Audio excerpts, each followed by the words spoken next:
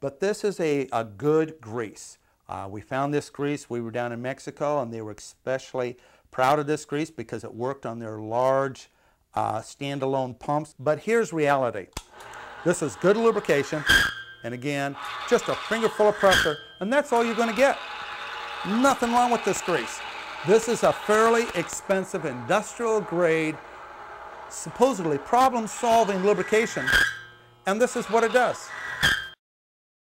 We get this product and we'll get it to you in tubes and uh, five gallon pails, which is 35 pound pails, pony kegs and drums.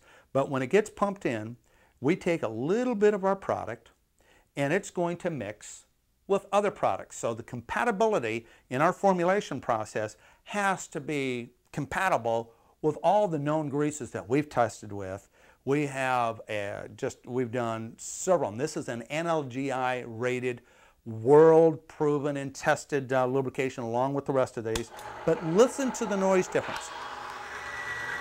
I'm going to get this hot and smoking. I'm going to add a little bit of, this is the worst case scenario for, our, for a grease. And you see the smoke coming out the bearing and listen to the noise difference. We add just a little bit of it.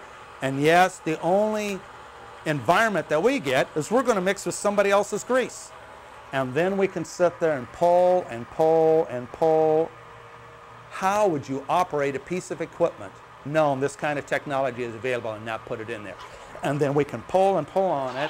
And then from a marine application, we've sat there and pulled and pulled on this thing. And then now from a, if you want to take um,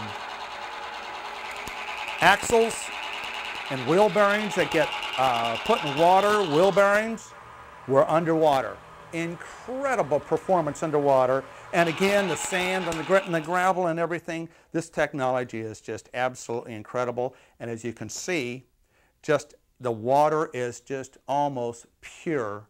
There's a little bit of somebody else's grease that's there, but we're, the environmentalists love this technology. Again, we're environmentally friendly lubrication in everything that we end up doing.